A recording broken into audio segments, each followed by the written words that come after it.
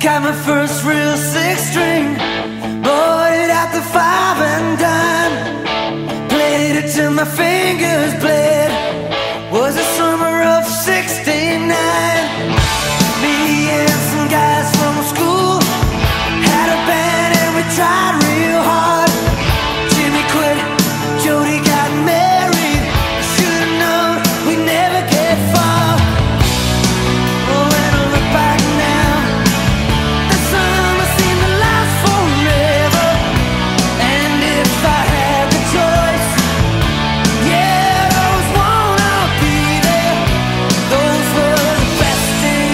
my life.